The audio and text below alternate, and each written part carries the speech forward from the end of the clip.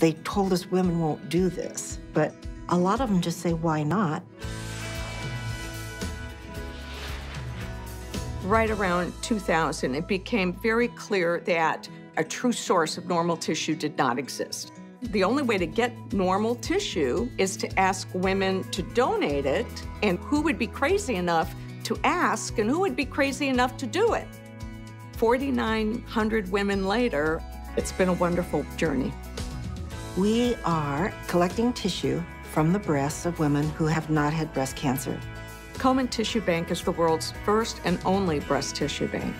This bank belongs to IU, but even more, it belongs to the women of Indiana. And when, not if, but when we get a cure, these women will be able to say, we had a huge hand in curing this disease.